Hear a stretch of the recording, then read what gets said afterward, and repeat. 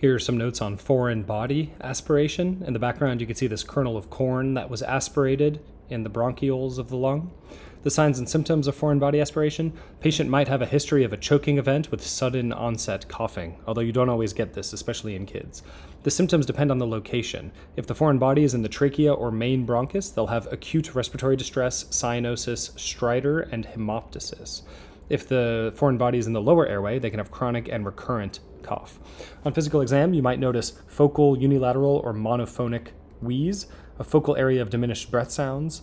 On x ray, you'll see hyperinflation of the affected side with a mediastinal shift toward the unaffected side. You can also see atelectasis if it's completely obstructed beyond the foreign body. Some foreign bodies might even be visible on x ray. Complications include recurrent pneumonia, bronchiectasis. The management is bronchoscopic removal of the foreign body.